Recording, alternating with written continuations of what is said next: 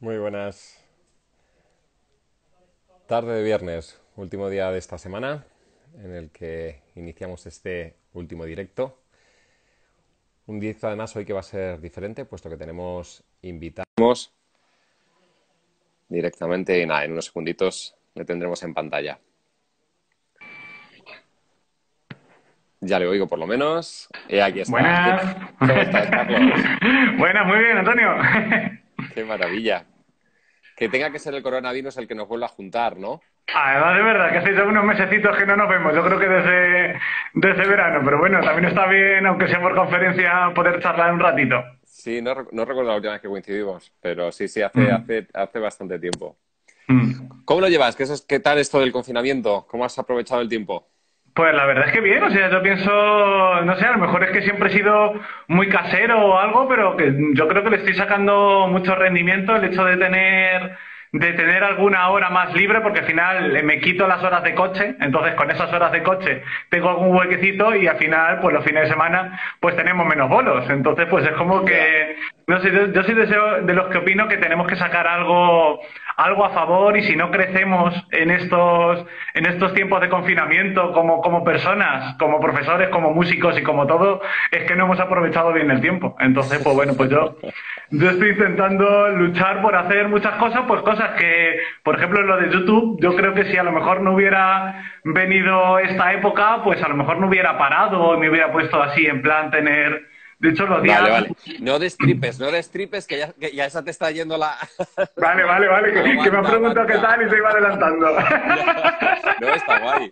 Está guay porque se te ve súper animado, Carlos. Me, me encanta encontrar gente al otro lado de la, de la pantalla esta digital que tiene esa energía. Me pasó el otro día con María Bagur igual, eh, la profesora de- del reto de Pokémon de Menorca, que, es- que estaba, que se salía de sí misma. Y bueno, te, te noto con una, con una energía, con unas ganas que, vamos, que se agradece encontrar gente así. Sí, Por total. aquí, M. Marinotis dice que no puedes estar callado. Sí, es una buena amiga de Madrid. Buena, Marina. Guay, guay, guay. Pues nada, son, son y 15 y como tenemos el tiempo justito, sabes que a justo a menos dos minutos solemos cortar para que la gente se vaya tranquilamente a aplaudir. Eh, empezamos a, a charlar un poco, como diría el, el escritor. Vamos a hablar de nuestro libro, vamos a hablar de lo nuestro. Cuéntanos quién es Carlos Alcázar, eh, qué es lo que hace y, y qué podemos saber de él de forma interesante. Pues yo soy Carlos Alcázar, como bien dice, pues no sé, yo creo que me defino aún como un aprendiz en esto de, la música, de, de la educación. Bueno, pues eh, soy saxofonista, soy también, curiosamente, aunque mucha gente no lo sepa, soy ingeniero informático. Y bueno, pues compagino un poco ambas, ambas cosas, o sea, trabajo como profesor de saxofón en varios centros educativos. Además, pues trabajo en una multinacional de desarrollo software por las mañanas. Y además, pues bueno, pues los fines de semana, pues toco en una Big Band, he estado dirigiendo una productora y bueno, pues los bolos que van saliendo, toco en diversas bandas y en mis huecos libres, pues tengo un blog educativo, que yo creo que es para lo que hemos venido a hablar. Entonces, No bueno, digas. pues a lo mejor así como, como resolución breve, yo creo que, que puede funcionar como quien soy. Has dicho, si mal no recuerdo, ingeniero informático. Sí, es mi pasado, mi pasado oculto. De hecho, una de mis grandes, una de mis grandes aficiones es la, más que la informática, las, las matemáticas y de hecho una de las de las grandes partes del blog, o sea, se llama música encriptada. Encriptada al final viene mucho de la informática, de ocultar la información. Entonces, digamos que las dos palabras que definen al, al blog en realidad me definen a mí. Entonces, pues tienen un poquito de, de cada una. Bueno, creo que ha habido alguien del, del chat que, de- que te ha definido directamente. Dice Ana que eres el- un hombre del renacimiento, vamos, absoluto. Bueno, en, en realidad, ¿cómo? Conocimiento pleno, la parte matemática, la parte creativa, la parte de arte, la parte escénica, lo tienes todo, qué maravilla. En realidad, muchas veces, muchas madres me lo dicen que digo que yo simplemente que lo que tengo es que, que he sido una persona que desde los ocho años que empecé con el saxofón, pues siempre he tenido muchas cosas para acá y para allá y siempre he sido inquieto. O sea, he tenido, yo creo que después de acabar eh, de estudiar, me quedaron muchas ganas de aprender y pienso que, debemos seguir aprendiendo, como tú dices muchas veces, formación, formación, formación.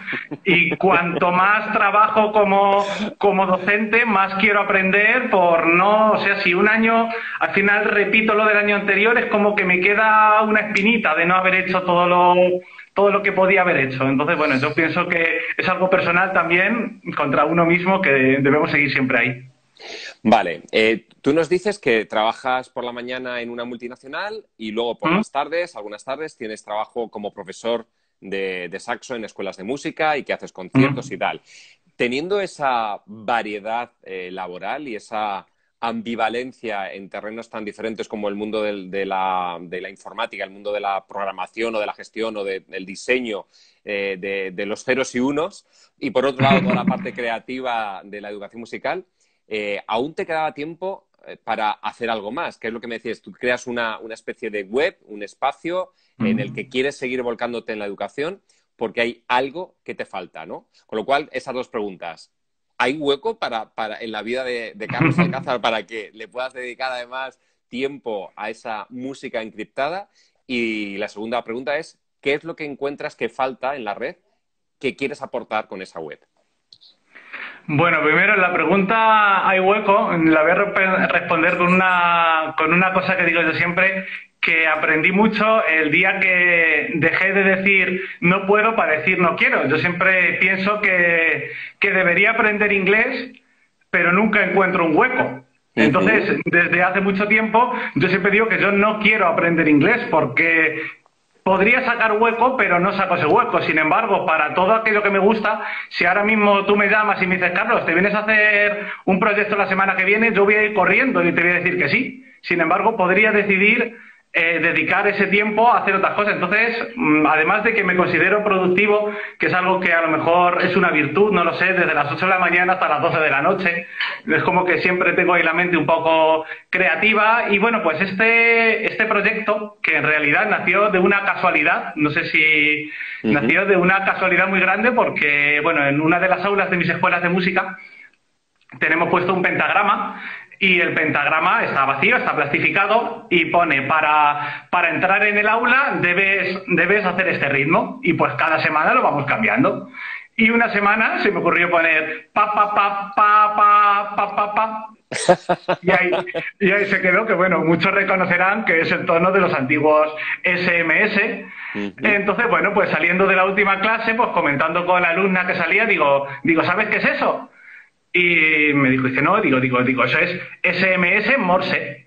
Y me quedé pensando, digo, wiki, digo, qué curioso, digo, que no, que no existe una transcripción, digo, cuando es bastante trivial, del Morse a, a valores musicales. Y dije, bueno, pues voy a hacerla. Pues llegué esa noche, esto fue un miércoles.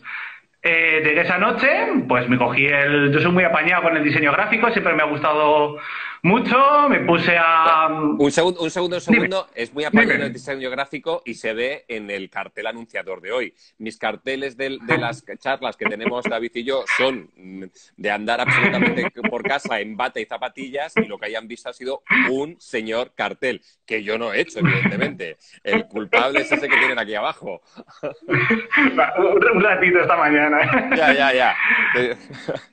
Continúa, te liaste en casa eres Así que bueno, por la noche. Pues, me puse por la noche y bueno, pues lo, lo, publiqué el código Morse en mi perfil personal, lo puse como público y en esto que veo que se empieza a compartir, se empieza a compartir que en tres días llevaban mil y algo compartidas y gente que empezaba a agregar mi perfil, o sea, un montón de gente que no conocía y era como que mmm, no me cuadraba, o sea, era algo que no quería, quería desvincular un poco de mí y generar una, una página en la cual, entonces, bueno, me quedé ahí con esa intriga, eso fue un miércoles.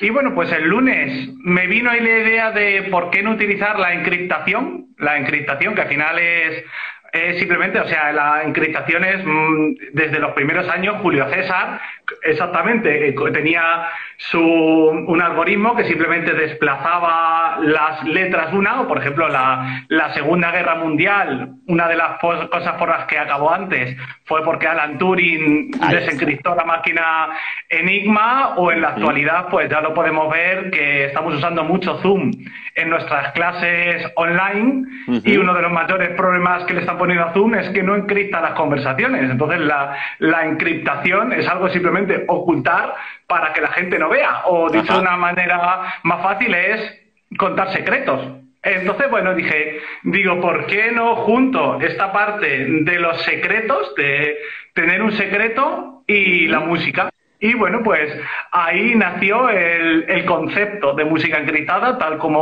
un, como un lunes estuve libre, y sin pensarlo, creé la página y no sabía qué iba a ser. Y bueno, pues esto hace ya año y medio y en realidad, pues digamos que cada, cada semana se sigue redefiniendo el proyecto porque ni aún yo sé todavía qué es música encriptada. Yo creo que, que música encriptada es una gran mentira. O sea, la gente se piensa que es un blog de música, pero es mentira, no es un blog de música. Es un blog de matemáticas, es un blog de lengua, es un blog de psicomotricidad. ¿Y cómo puedo desarrollar todas esas con la música? Nuestro amigo Qué bueno, qué bueno, qué bueno. Porque, eh, según entiendo, según he visto en, la página, realmente son casi, casi como retos, ¿no? Cada una de las propuestas que haces semanales, tú vas mm. publicando una a la semana, generalmente los lunes, creo, ¿no, Carlos? Sí, sí la, idea de... la, idea de publicar la idea de publicar uno es justo lo que decías tú. Quería buscar una fórmula que pudiera cumplir todas las semanas sin llegar a obviarme. Entonces, después dije, digo, cada lunes, digo, voy a sacar una, además el lunes, el lunes coincidiendo con que es el primer día de la semana, además se publica siempre a la una, entonces es como que la gente a la una puede ver ese material y si le gusta, pues aplicarlo durante esa semana y el viernes se resuelve. Entonces como que cada semana pues se aparece un nuevo reto.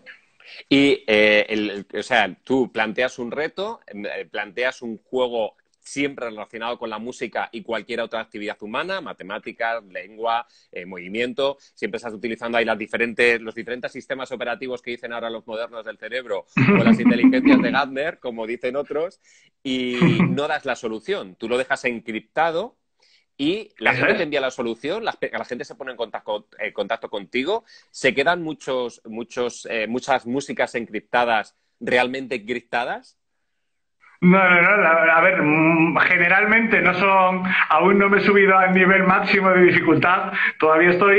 En, definí una escala de cinco niveles de dificultad y de, momento solo he subido al tres.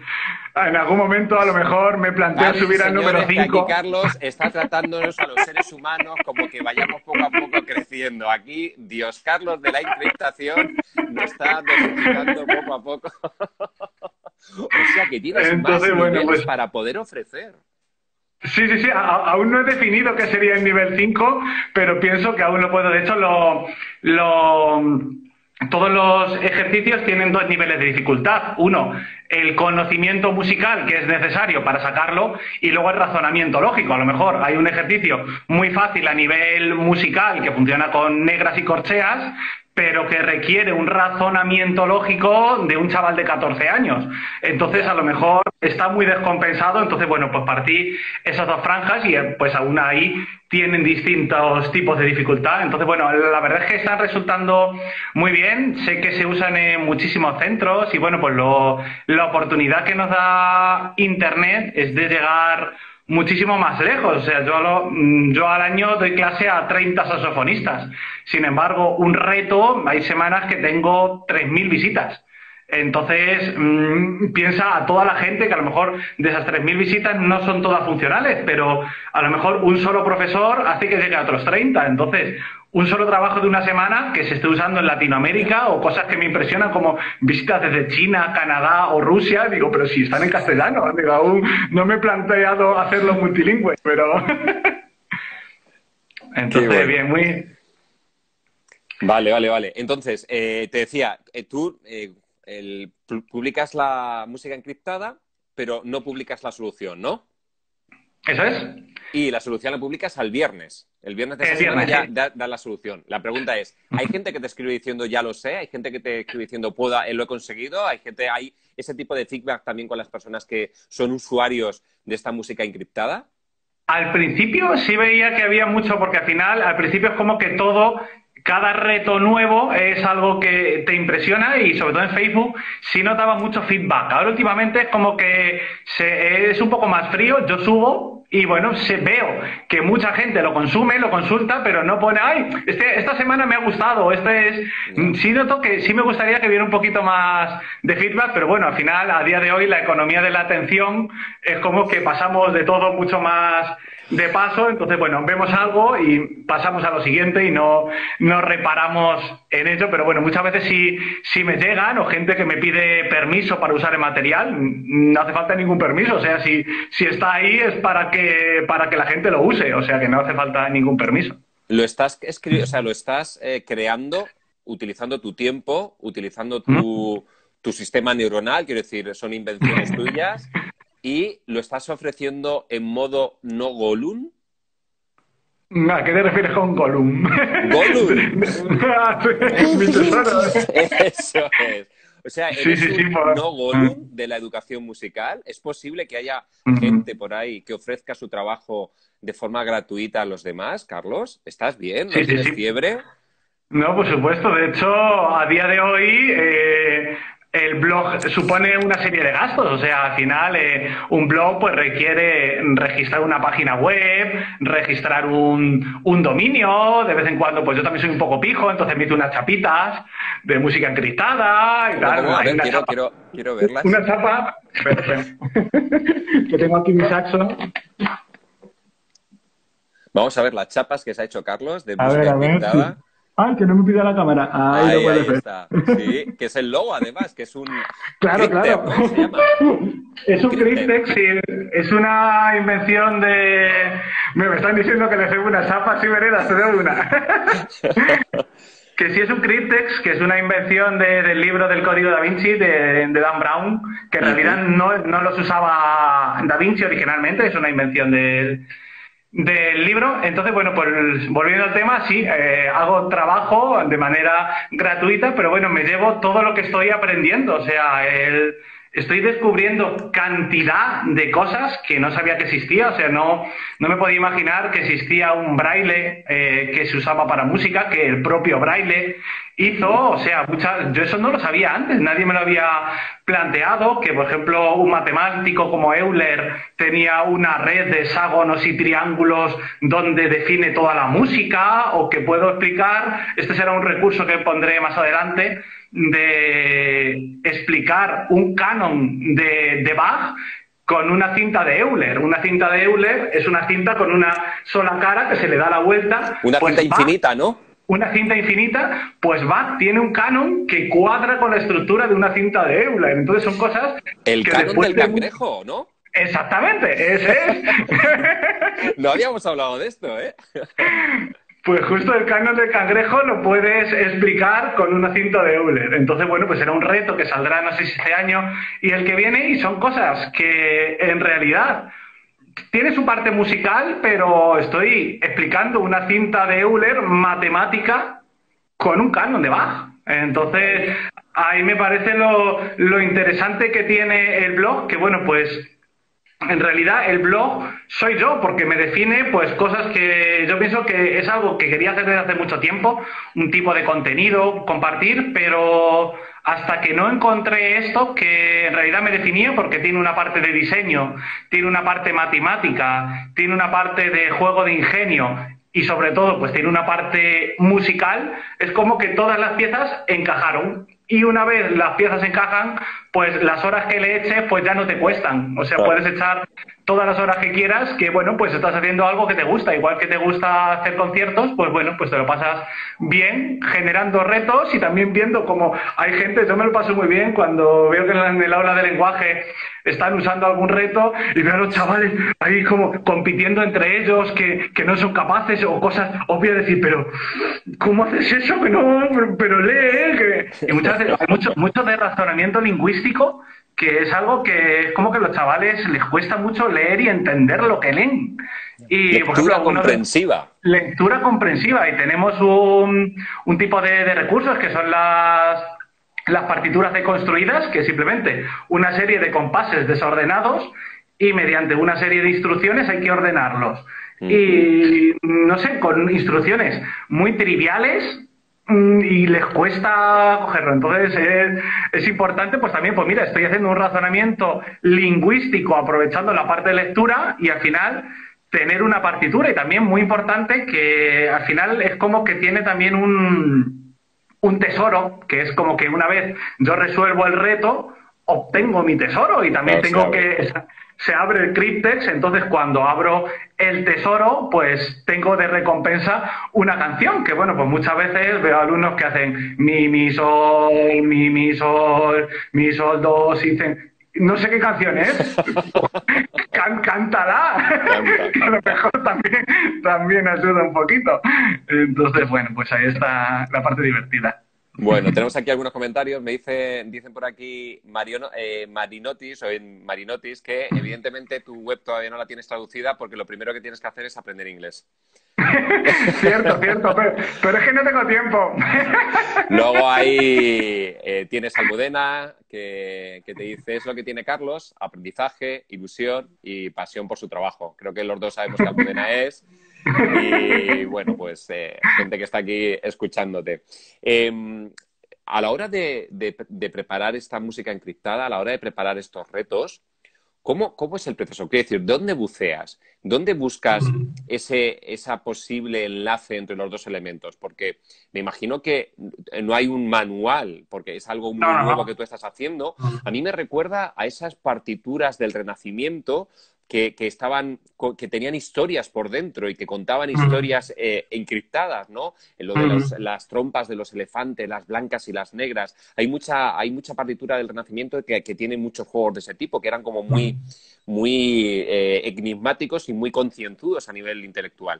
¿De dónde sacas el, el, material? ¿Cómo generas una nueva? O sea, ahora estás, me imagino, creando la de la semana que viene, porque me imagino que como eres organizado, la del lunes ya la tienes, sino que estarás pensando la siguiente.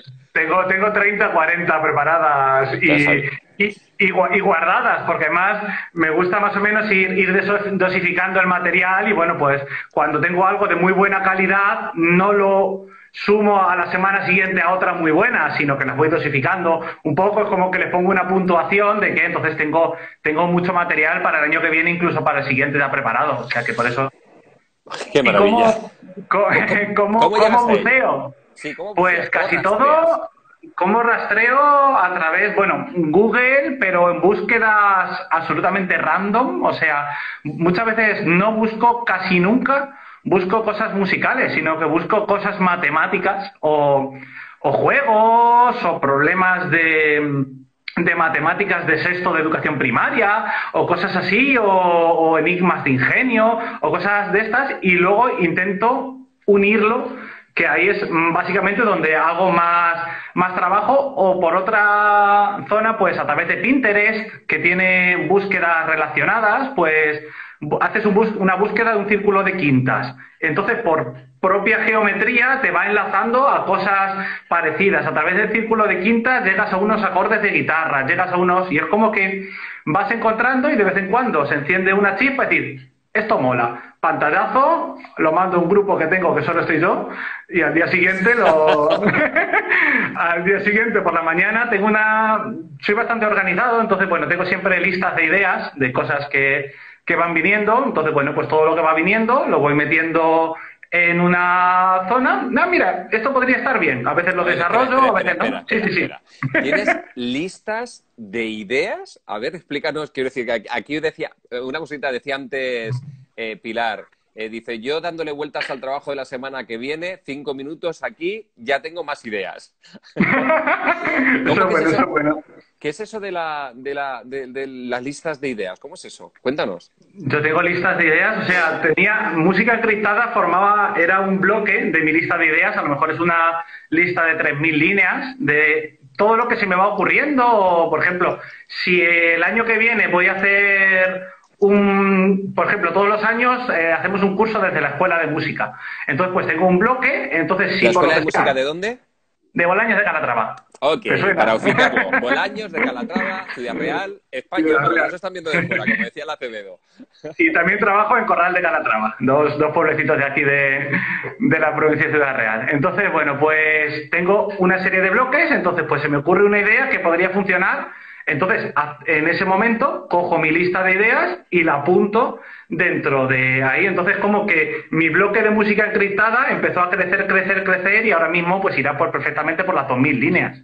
Entonces, pues cada cosa que se me va ocurriendo va al pozo sin fondo, cada X meses la reorganizo porque muchas veces no, Mm, cosas las puedo ir juntando, como que tengo un poquito de una que mezcla con otra y pues de ahí, o, si algún día me quedo en blanco y no sé qué publicar, me voy a mi lista de ideas y de ahí pues cojo información.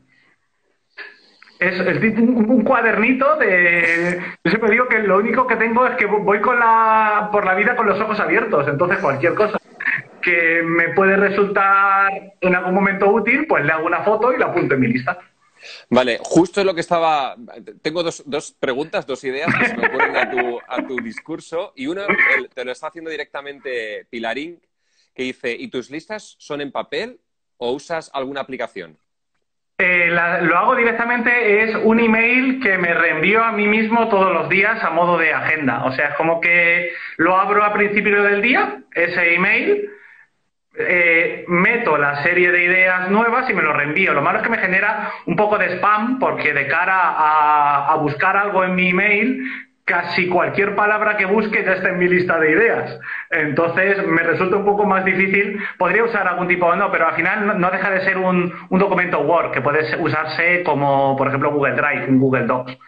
Luego, por pura, por pura comodidad, porque al final tengo eh, en el trabajo abierto siempre eh, la herramienta de correo, entonces me es muy fácil meterlo en el correo y reenviármelo a mí mismo. Ok, y lo segundo, eh, dice, dice Almudena que la cabeza de Carlos es otro. Voy a pensar que Almudena tiene algo contigo, ¿eh? Que ir ahí no Tenemos muy buena amistad. Un beso, Almudena. Un poco de spam, dice, dos mil ideas en clave de FEM. Estás flipando como yo ahora mismo. Hay una cosa que me ha encantado, Carlos, de lo que has dicho, que eres muy random, que es una palabra que se utilizará mucho, como que eres muy aleatorio o muy poco predecible en la búsqueda del material y que tengo la sensación, incluso añadiendo a lo que decía a lo que decía Anima Sana, Ana, la profesora del Conservatorio de Gijón que te ha escrito antes, que eras un hombre del Renacimiento, por lo que te veo, esa es la sensación. O sea, tú puedes ir paseando por la calle y directamente ya estás enlazando ideas. Porque de alguna forma, por lo que veo, por tu forma de pensar, por tu forma de organizar el discurso, por lo ecléctico que eres, por tu formación, eh, bajo mi punto de vista, muy competente a nivel musical con todo lo que implica eso en tu cerebro creativo, en tu lóbulo derecho, a la vez todo lo que implica también en lo izquierdo, pero encima súper desarrollado a través de una ingeniería eh, informática, que no te sirve por lo que veo, o sea, te vale todo. O sea, realmente caminar por el mundo para ti es aprender. Sí, muchas veces, eh, por ejemplo, eh, uno de los carteles que hice para una de las audiciones de saxofón, pues fue acabando el último día del Camino de Santiago, pues miré hacia la pared, bueno, yo soy un poco miope, y vi un cartel y me Menos mal, eres humano. y vi un cartel que me recordó a la tribu de los Brady y dije, ah, digo, pues molaría tal, y a raíz de eso, pues simplemente de mirar al, al horizonte y parecerme que vi una cosa, pues me generó una idea, por ejemplo, cuando estoy en algún proceso creativo de pensando algún tipo de material o, o no sé, es como que cualquier idea la voy enlazando, es como que mi mente está aquí. Entonces, como estoy mirando hacia, hacia una dirección, cualquier idea me encaja en mi proyecto, entonces me falta darle forma para que encaje. Entonces sí, desde el eclecticismo, al final todo encaja y todo al final, pues todo es un poco de lo mismo. Es un poco difícil de expresar. Eh, no, es Carlos Alcázar en estado puro, señores. Una mente privilegiada con una energía que, como ven, desprende a raudales, eh, una sonrisa constante y unas ganas de, compartir y de trabajar en equipo como pocas veces he visto, y con ese altruismo que, bajo mi punto de vista, debe caracterizar a, un buen docente, esa capacidad que tiene de regalar su trabajo a los demás, de hacerles felices un rato y simplemente hacer como la madre gata, ¿no? Mirar desde la lejanía y sonreír porque los, gatitos se lo están pasando bien, ¿no? ¿Qué recomendación? como estás, estás viendo tu forma de, Así es él, dice Ángela, directamente. Ángela fue mi primera alumna. Wow. La, cogí con siete años, ahora tiene 19 o por ahí, y bueno, pues siempre la tendré con mucho cariño porque fue con la con ella yo empecé y bueno, ha estado un montón de años conmigo y bueno, ahí sigue al pie del cañón. Eh, varias cosas. Antonio Bombardino, que es profesor eh, de, secundaria, eh, músico y profesor de secundaria, dice, estoy viendo tu blog, me encanta, gracias. Y luego Pilarín nos dice, Escape Room, ¿para cuándo?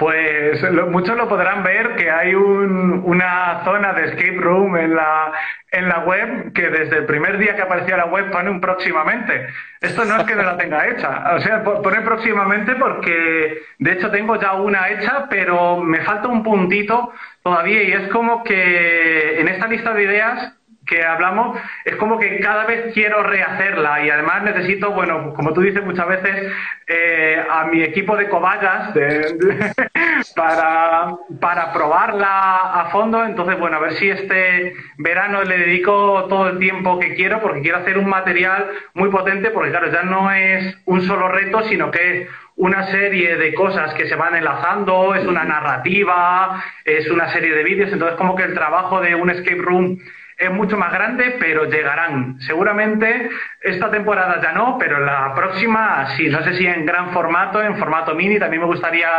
preparar algún tipo de escape room para hacer en, centros educativos, que bueno, tanto yo sé que a ti te gustan, a mí también me gustan mucho las escape room, porque al final explotas un poco el, lo, lo, de pensar y vemos que el conocimiento es importante para, para salir de una habitación o para que veamos una noticia y no nos la creamos tan, tan fácilmente. Entonces, cuanto más conocimiento tengamos, más fácil nos será eh, escapar de una habitación o más fácil nos será. Entonces, quiero que sea un trabajo muy guay, también muy chulo a nivel gráfico. Entonces, bueno, mi idea es hacerlo también que puedan ser rollo pósters que se puedan poner en una habitación, que se pueda interaccionar con ellos, que además sea todo realidad aumentada, que además añada... Están en mente, o sea, tengo mucho pensado, pero llegarán, llegarán, llegarán. Ok, ok. Casi, casi como un skate hall, ¿no? Sí, sí, sí, algo así. Pero mi idea es que sean muy originales. Que... vale, te dice hola que es cierto que están esperando, que llevan esperando ansiosos ese momento de que aparezca el escape room. Y que Pilarín se ofrece como koala, dice. Como, koala. vale, vale, vale. Sí. Tomo nota, tomo nota. vale. Eh, una cuestión. Eh, me imagino que por cómo estamos viéndote hablar y por cómo estamos viéndote contarnos esta historia de, música encriptada, hay un momento en el que la, parte del blog y la, la, web y la parte de, Facebook, que es donde te podemos encontrar, en Facebook y en web, no es suficiente y hace poco das un salto. ¿Qué es lo que te hace dar el salto al, a YouTube, a la plataforma de vídeo? Porque hasta ahora nunca habías necesitado una imagen en movimiento para poder contar tus historias, para poder contar esas movidas neuronales en busca de nueva conectividad, eh, porque al final el aprendizaje es eso, es tener nuevas conexiones. ¿Qué te hace dar el salto a la imagen? Pues era, era una asignatura pendiente que tenía hace mucho tiempo, era algo que bueno, también me daba un poco, un poco de palo el hablar a cámara, bueno, he hecho también algún curso de interpretación y tal, pero el hablar a cámara es como una asignatura pendiente y sobre todo algo que, que igual que me encanta el montaje de foto, el montaje de vídeo era algo que, me daba un poco de, miedo, siempre era algo que no me, no me gustaba.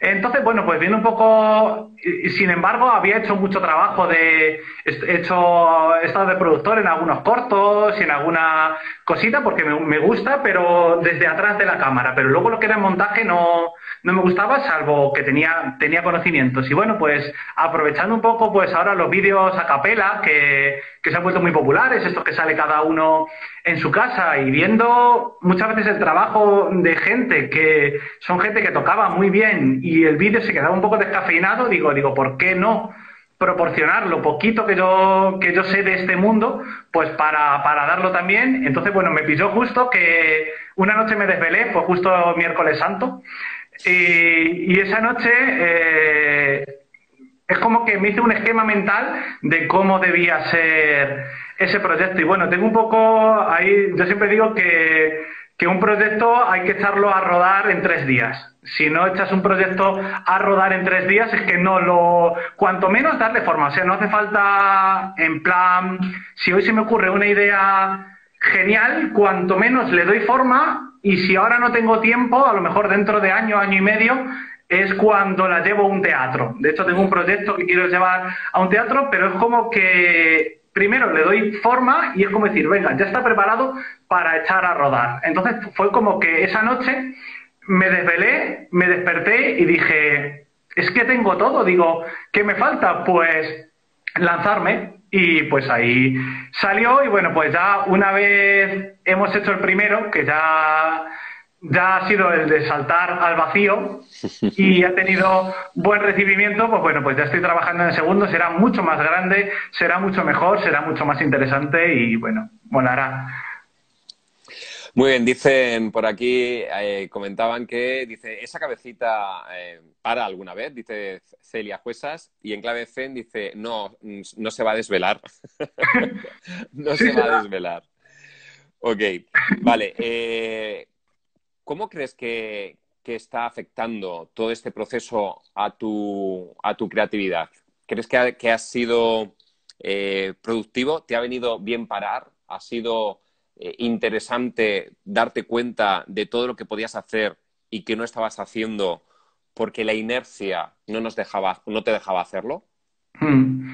Sí, en realidad yo creo que podría decir que me he reconciliado con, con mi yo ingeniero. O sea, es como que siempre tú a mí me has conocido como músico, el 90% de las personas, menos los que me conocen de toda la vida o me conocen por el trabajo, me conocen como como músico porque yo en realidad mi parte ingeniero, pues bueno, era mi trabajo.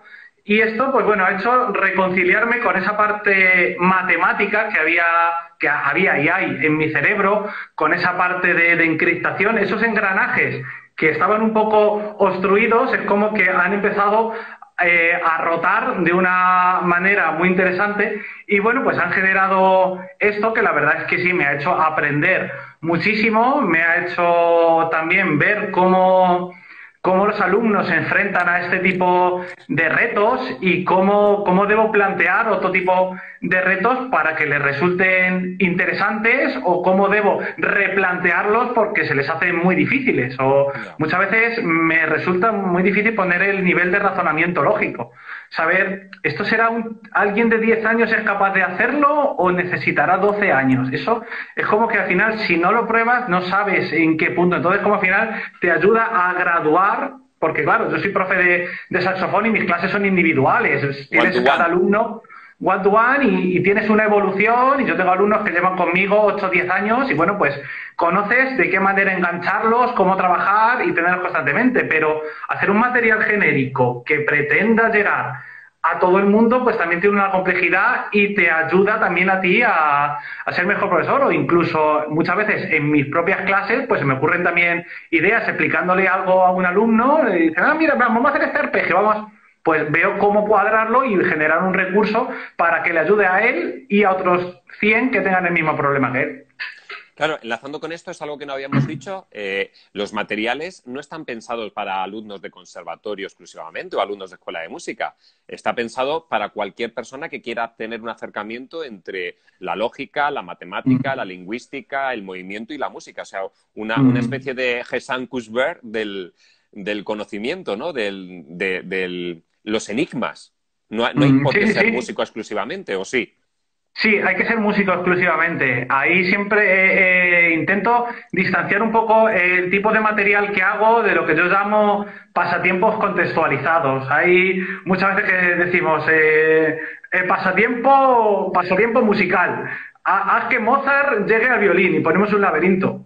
De musical tiene contexto porque Mozart y el violín, pero en realidad el, laberinto lo puede resolver cualquiera. No, música encriptada, cualquier ejercicio requiere de conocimiento musical. O sea, si tú no tienes conocimientos musicales, no puedes resolver absolutamente nada. Entonces, vale. Mm, ahí está el concepto. Hay, hay, que ser músico para poder para poder hacer algo o también para, para, potenciar cualquier cosa. De lo que me preguntabas, que si es usable, si es usable en colegios, en institutos, en conservatorio o incluso por músicos profesionales. Yo tengo un, yo lo llamo mi equipo de asesores, que es un grupo, de hecho varios están conectados, que con la funcionalidad de que el lunes sea de la mejor calidad posible el reto, pues una semana antes se lo mando para que lo lean, para que lo prueben, para que detecten errores, para que el lunes salga limpio. Y muchas veces se ponen y dicen, Carlos, dice, llevo una hora y dice, no lo saco. Y, claro, eh, entonces también está pensando, yo siempre digo que, que los músicos profesionales que lo hagan sin papel y lápiz o sea, por ejemplo, una partitura deconstruida que muchas veces un músico profesional simplemente si canta cada uno de los compases ya lo tiene, o entonces como que se le hace mucho más fácil. Entonces, si le quitamos el papel y el lápiz y tengo que ordenar una serie de compases sin saber, es como que le sumo un grado extra de dificultad, entonces creo que también le da un poco más de interés a la hora de resolverlo. Claro, justo es que esto es, creo que no lo habíamos dicho al principio y me parece una parte muy importante, como dice Ola, que ya lo está utilizando en el cole y funciona muy bien. Eh, y te da las gracias, además. Claro que esto no es, una, no es solo friquismo eh, de alto standing, no estamos hablando de, la élite del pensamiento, sino que tú lo que estás haciendo realmente es un trabajo de retos, un trabajo de juegos, un, trabajo, un trabajo de enigmas pensados para poder divertirte con él en cualquier nivel sabiendo música. Quiero decir que lo pueden utilizar todos los profesores de escuelas de música, de conservatorio, de primaria y secundaria, puesto que lo que se está poniendo el valor, como tú dices, no es el laberinto que lleva a Mozart con el violín, sino el hecho en sí de que tienes que tener unos conocimientos mínimos musicales que hasta la música encriptada, fíjate, ayer hablábamos con David de David Muñoz de la evaluación, hasta se podría utilizar casi casi como una evaluación. El, seguramente que muchas de tus, de tus músicas encristadas pueden ser el resumen de una unidad didáctica de primaria o de secundaria, ¿no? Sí, sí, por ejemplo, hay un tipo de, hay dos tipos de retos, de, enigmas. Bueno, ahí están, la página está dividida en dos secciones que son recursos educativos que son un poco más amplios y son más, lo puse de muchas maneras, y la parte de enigmas. Pero, por ejemplo, hay dos tipos de, enigmas, que uno es la partitura interválica, que simplemente es una serie de valores escritos en figuras, y unos intervalos para arriba y para abajo, o la partitura matemática, que es una partitura y a través de unas cuentas se convierte en otra, que es un trabajo puro y duro de intervalos. Entonces, si algún chaval está eh, aprendiendo a hacer intervalos, qué mejor manera de hacerle un examen de esta manera que estaría eh, teniendo una recompensa y además usando de una manera útil los, los intervalos. Y además, lo bueno que tiene el blog, que yo me gusta, porque si haces al final un libro, un libro de educación musical para primero de grado elemental, tienes que ceñirte a eso. No, yo se me ocurre un reto planteo el reto y le pongo una dificultad. No tengo que, no tengo que tener un orden, no, pues mira, hoy es de dificultad 4, la semana que viene es de dificultad 1, la siguiente es de dificultad 2. No tengo que tener una organización. Luego en la web lo voy etiquetando todo y está por niveles de dificultad. El profe ya busca ese nivel de dificultad y dice, venga, esto me cuadra con mi alumno, pero yo no tengo esa, esa restricción. Publico lo que me apetece. Qué bueno. Dice Antonio Bombardino, que se me olvidaba que también es director de banda, dice, voy a pasar a alguno de, de tus retos a los músicos de mi banda, a ver por dónde salen. Genial, genial. Esther-5 dice, me parece una pasada tu web, enhorabuena. Y en clave de FEN dice, genial, me lo apunto, gracias. Bueno, pues, pues esto era lo que queríamos. es verdad, que comenten, por favor, comenten, comenten, que siempre se agradece un comentario en redes. Sí, sí, sí. Bueno, pues esto era justamente lo que quería mostrar hoy, el trabajo que está haciendo Carlos de forma callada, no de forma encriptada, de, encriptadas son sus propuestas musicales, pero él tiene todo ese material al alcance eh, desde aquí agradecerte, Carlos, el trabajo que estás haciendo. Eh, para mí eres una persona a seguir, eres un modelo, eres una forma de, entender la educación que comparto absolutamente. Ojalá mi cabeza diera para hacer cosas como las que tú propones, pero bueno, afortunadamente la naturaleza o Dios o cada uno que piense lo que quiere, coloca a cada uno en su sitio y a ti te ha colocado donde te tienen que colocar para que seas capaz de crear esas maravillas. Y los que estamos aquí, estos 25 personas que estamos aquí, no pierdan, no pierdan la pista a Carlos, no pierdan el trabajo que está haciendo, no lo pierdan de vista porque da gusto, da gusto seguirle. Y nada, eh, como vemos, hay mucha gente que está haciendo cosas muy interesantes y que desgraciadamente ahora mismo se entiende que los medios de, comunicación estén entretenidos o estén haciendo el trabajo que están haciendo, está claro, pero en otros momentos en los que hemos, hemos tenido COVID-19, eh, muchas veces las grandes ideas, las grandes genialidades y el trabajo bien hecho no sale en televisión y en los medios de comunicación. Con lo cual, señores, hagámoslo entre nosotros, comuniquemos, pasemos la información, digamos de quién es, no nos aprovechemos de ello, pero que esta gente que está trabajando bien, que sé que hay muchos que al otro lado de esta pantalla que estáis mirando estáis haciendo trabajos igual de buenos, eh, comuniquemos. Para eso están las redes, para eso están estos espacios. Hablemos entre nosotros y, auto, ¿cómo se dice? Autoformémonos, por favor. Eso, sí, sí, de, disfrutar. Un placer. Eh, son dos minutos. Eh, tiempo para despedirte, Carlos. Muchísimas gracias, Antonio, por compartir estos momentitos y bueno, a ver si nos vemos prontito. Ojalá, ojalá. Y lo dicho, que hoy no está David, agradezco su generosidad para ceder el espacio para que Carlos hoy pudiera, pudiera darnos su, su visión de la música, de esa música encriptada, que no se nos olvide, y que estáis invitados, estáis invitadas a que cualquiera de los dos podamos desaparecer para contar vuestras historias. Un verdadero placer. Cuídate. Tú también. Hasta luego. Un abrazo. Bueno, eh, Eloisa, muchísimas gracias. Eh, el trabajo es de Carlos. Yo lo único que estoy haciendo es contarlo ahora mismo un poco para que sepa, para que todos sepamos que él que existe. Había mucha gente ya que estaba conectada que sabía quién era Carlos y eso me alegra, me alegra mucho. Pero para aquellos que desconocíais el trabajo de, este gran eh, ingeniero informático y este gran músico, pues ahí, ahí lo tenéis. Utilizadlo y disfrutar de él, ¿vale? Un placer eh, y nos vemos el lunes. Hoy es viernes, cerramos sesión. Julia, cuídate, que te he reconocido, que sé que eres tú, mi mejor acordeonista. Y nos veremos, nos veremos el lunes con una nueva entrega de, estas charlas. De nuevo vendrá David Muñoz y seguiremos cosiendo, seguiremos hilvanando eh, cosas ricas para, para formarnos entre nosotros. Un abrazo, cuidaros. Almudena, Celia, aplaudir, que falta un minuto. Besos.